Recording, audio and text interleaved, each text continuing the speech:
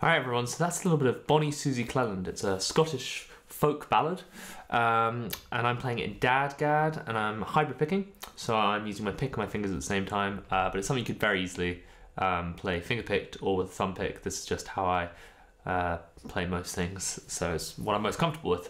Um, I'm going to give you another chance to uh, uh, watch me play it a little bit more close up and and slow down a little bit so you can see what's going on. Um, but it's all about getting the melody out here, and uh, the rest is just a complement. Um, so here it goes. I hope you enjoy, and uh, good luck.